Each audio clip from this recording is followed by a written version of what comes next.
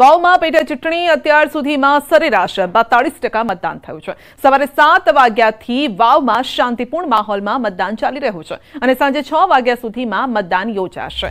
સવારે મતદાનના ત્રણ કલાકમાં મતદારોમાં જબરો ઉત્સાહ પણ જોવા મળ્યો અને મતદાન કેન્દ્રો પર મતદારોની કતાર જોવા મળી. જોકે સૂર્ય માથે ચડતા મતદારોનો ધસારો હવે ઘટ્યો છે. ઉત્તર ગુજરાત માટે સૌથી મોટા જંગ સમાન આ પેટા ચૂંટણીમાં ખાસ વાત એ છે કે મતદારોનો જબરો ઉત્સાહ જોવા મળ્યો છે અને પેટા ચૂંટણીમાં મહિલાઓ અને વૃદ્ધો પણ લોકશાહીના પર્વની ઉજવણીમાં જોડાય છે.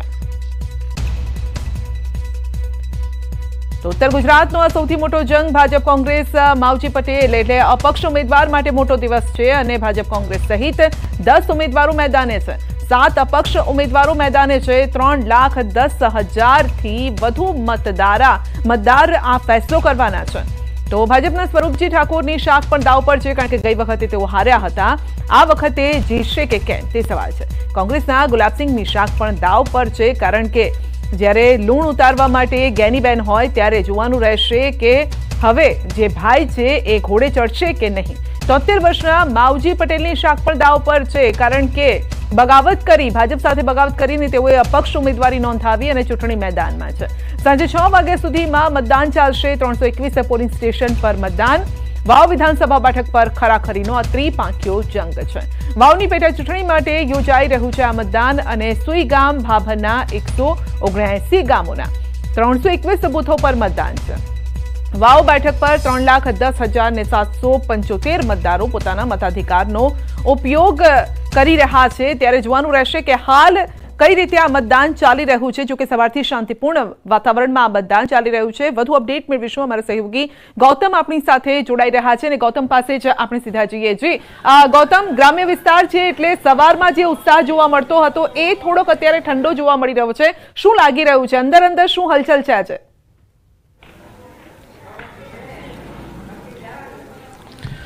સંધ્યા વહેલી સવારથી જ મતદાને એક પીક જે છે તે પકડ્યું હતું. સવારમાં બે કલાકની અંદર વીસથી ચોવીસ ટકા જેટલું જે મતદાન જે છે તે ગ્રામ્ય વિસ્તારની અંદર જોવા મળ્યું હતું. ત્યારબાદ અગિયાર વાગ્યા બાદ જે મતદાનની જે પ્રક્રિયા જે છે તે ધીમી પ્રક્રિયા જોવા મળી હતી. એટલે કે પાકી સંખ્યાની અંદર લોકો મતદાર કેન્દ્રોની મુલાકાત લેતા જે છે તે નજરે પડ્યા હતા. અત્યારે હાલ શહેરી વિસ્તાર, એવો ભાભર વિસ્તાર ખાતે ન્યૂઝ એટીન પહોંચ્યું છે. અને ત્યાંના તમને આ દ્રશ્ય બતાવી રહ્યું છું કે જ્યાં પણ એ જ પરિસ્થિતિ જોવા મળી રહી છે.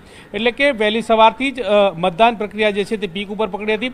પરંતુ ત્યારબાદ પાકી સંખ્યાની અંદર મતદારો જે છે તે મતદાન કરવા માટે આવતા હોય તે પ્રકારના દ્રશ્યો જોવા મળી રહ્યા છે. આ તમામ મતદાન મથકો જે છે કે જ્યાં પાકી સંખ્યાની અંદર લોકો જે છે તે મતદાન કરવા માટે આવતા હોય તે પ્રકારના દ્રશ્યો જોવા મળી રહ્યા છે. અત્યાર સુધીની વાત કરવામાં આવે તો સાડત્રીસ ટકા જેટલું જે મતદાન જે છે તે થઈ ચૂક્યું છે. હવે ત્રણ કલાક જેટલો જે સમય જે છે તે બાકી છે. હવે ત્રણ કલાકની અંદર કેટલું વોટિંગ થાય છે? તે મહત્વનું છે. પેટા ચૂંટણી છે. પેટા અંદર ઓછું મતદાન થતું હોય છે. આ પ્રકારની બાબતો સામે આવતી હોય છે. પરંતુ જે પ્રમાણે સવારમાં વહેલી સવારથી જે મતદાન અને મતદારો જે પીક પકડી હતી તે જોતા એવું લાગે છે કે સાહીઠથી પાસઠ ટકાથી પણ વધારે મતદાન થાય તે પ્રકારની આશા સેવવામાં આવી રહી છે.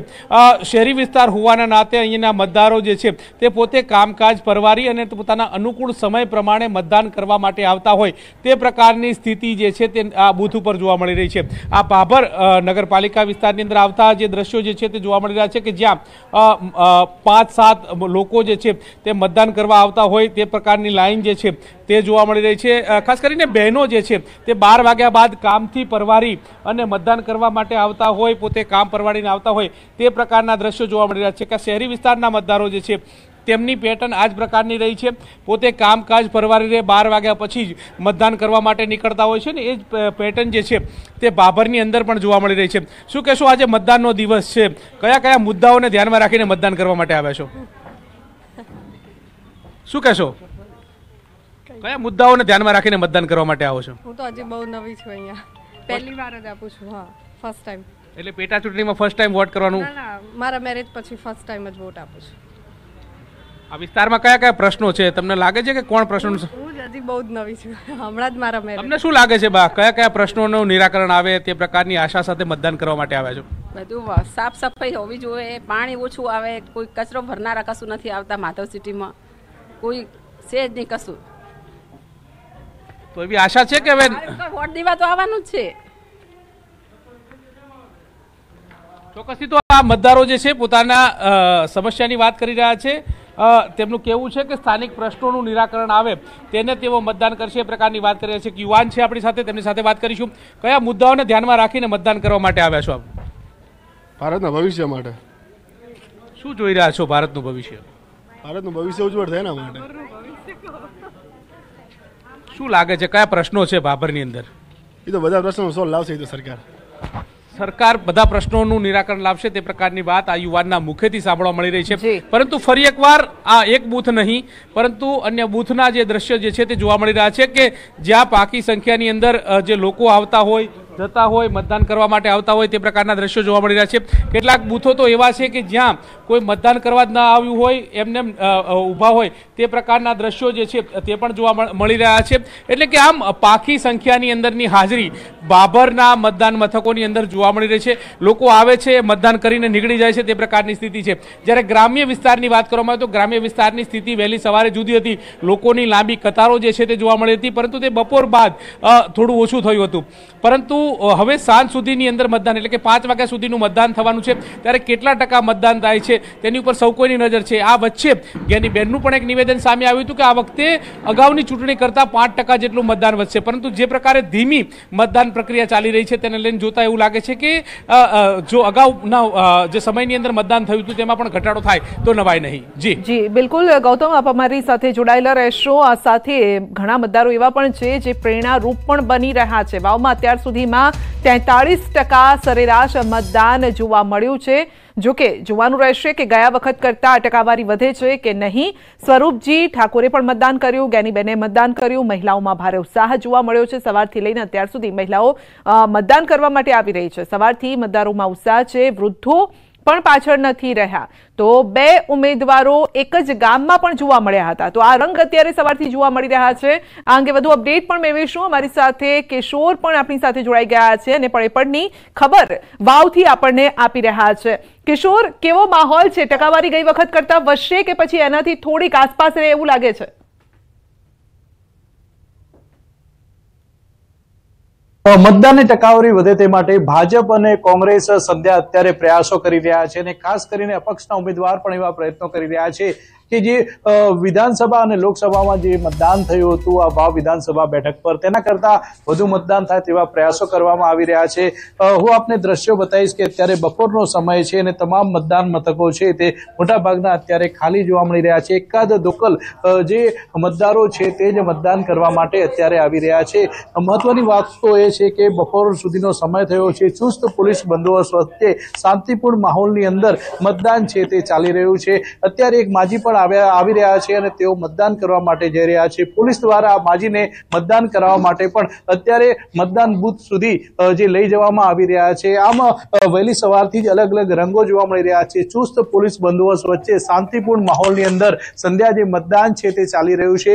અત્યારે આપણી સાથે કોંગ્રેસના એનએસયુના પૂર્વ પ્રદેશ પ્રમુખ મહિપાલસિંહ ગઢવી છે. વાત કરીશું તેમના જોડે. મહિપાલસિંહ, વધુ મતદાન થાય તેના માટે કેવા પ્રયત્નો અત્યારે કરવામાં આવી રહ્યા છે? બિલકુલ સમગ્ર વિસ્તારમાં એક તો મતદાન ચાલેલું છે, એના ઉપરથી ઉત્સાહ જોવા મળી રહ્યો છે અને મતદાતાઓમાં એક અનેરો ઉત્સાહ જોવા મળી રહ્યો છે. લોકસભાની ચૂંટણી હમણાં જ પૂરી થઈ છે.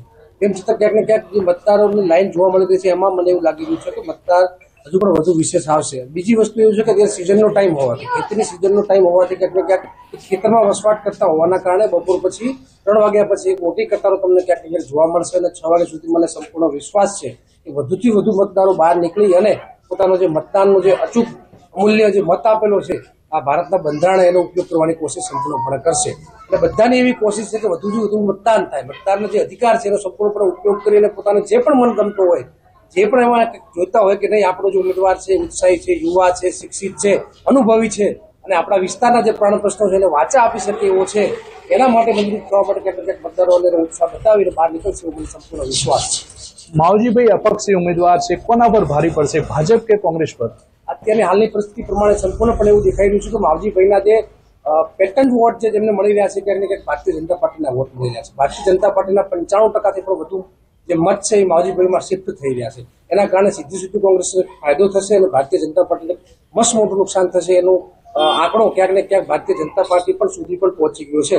અને ક્યાંક ને ક્યાંક એનાથી સંપૂર્ણપણે કોંગ્રેસને ફાયદો થયો તો દેખાઈ રહ્યો છે. આપણે અત્યારે બમાણા ગામમાં છીએ. આ એવું ગામ છે કે જે આજ દિન સુધી ચૂંટણી યોજાઈ નથી. જ્યાં ખાલી લોકસભા અને વિધાનસભાની ચૂંટણી યોજાય છે. આ ગામ જ્યારથી પંચાયતી રાજ્ય આવ્યું ત્યારથી માંડીને અત્યાર દિન સુધી મમાણા ગામમાં ગ્રામ પંચાયત ચૂંટણી ક્યારે આયોજન થયું નથી? એના પાછળનું કારણ છે ગામની સમગ્ર પ્રજાનું સમરસતા.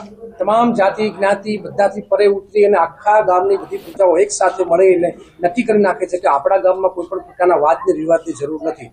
પોલીસ ફરિયાદની જરૂર નથી. તેથી કોઈ પક્ષાપક્ષીમાં આવ્યા વગર માત્ર ને માત્ર એક કોઈ વ્યક્તિને નક્કી કરી દેવામાં આવે છે કે ભાઈ એ વ્યક્તિને આપણે નક્કી કરશું તો ગામમાં અંદરો અંદર ઝઘડા નહીં થાય વાદ વિવાદ નહીં થાય, જ્ઞાતિ જ્ઞાતિ વચ્ચેના ભેદભાવો નહીં થાય અને વિકાસના જે કામો છે આ સરળતાથી થઈ શકશે. કારણ કે સમરસ કામ મળે એને બન્યા પછી પણ ક્યાંક ક્યાંક સરકાર, રાજ્ય સરકાર હોય કે કેન્દ્ર સરકાર પણ એક વિશેષ ગ્રાન્ટ ફાળવતી હોય. એનો પણ સીધો લાભ ક્યાંક ને ક્યાંક આ ગામને થતું જોવા મળે છે અને તમે પણ જોઈ શકશો કે બીજા ગામોના કમ્પેરમાં ક્યાંક ક્યાંક મમાણા ગામના રોડ હોય, રસ્તા હોય, ગટર વ્યવસ્થા હોય, પાણીની વ્યવસ્થા હોય, તમામ નાના નાના ખેતરોમાં જતા ઉપર રસ્તાઓ કરીને ક્યાંક આ બધા વિકાસ શક્ય ત્યારે બને જ્યારે એક ગામ એક સૂરમાં હોય અને સૂરમાં હોવાનું કારણ એ છે કે સમરસતાના કારણે ક્યાંક ને ક્યાંક મમણાનો વિકાસ શક્ય બન્યો છે. સંધ્યા અત્યારે હું એવા ગામમાં છું સુઈગામ તાલુકાના મમાણા ગામમાં. કે જ્યાં આજ સુધી પંચાયતની ચૂંટણી યોજાઈ નથી અહીંયા માત્ર લોકસભા અને વિધાનસભાની ચૂંટણી યોજાય છે. સંધ્યા. જી બિલકુલ આપનો આભાર અમારી સાથે જોડાવા બદલ.